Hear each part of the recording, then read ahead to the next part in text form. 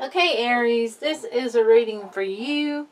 Um, I'm going to start with the tarot card. We've got the Seven of Pentacles, Gremlins. I want you to look at that.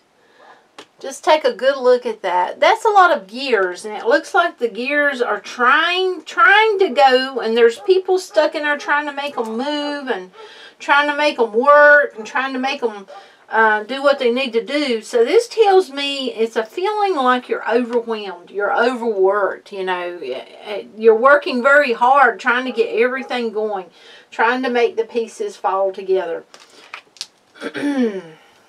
three witchy sisters, the power of three. Okay, well, this tells me that whatever you're trying to achieve, keep at it. You're going to do it. Um, it's going to happen for you. So, um, you're working hard. You need to, I do feel like you need some, uh, you know, maybe take some time for yourself a little bit, though. Okay, number 36, that was a number 9, by the way. And this is a number 36. Uh, shine bright like a candle. You will make it through this. So, even though this is hard, whatever this work you're having to put in and all this time and this effort, you're going to make it through it.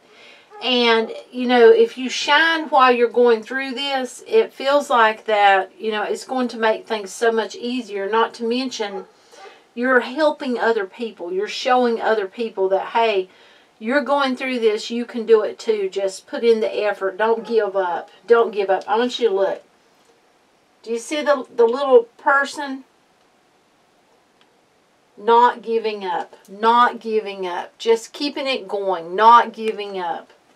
So this is telling me don't give up. You know, you've you've got this. You can do this. Whatever this is, you've got it. Don't give up on it. Just maybe take a break, a little bit of a break for yourself, it feels like. But yeah, you got this. Shine your light bright as you go. This is something that, you know, you're being seen.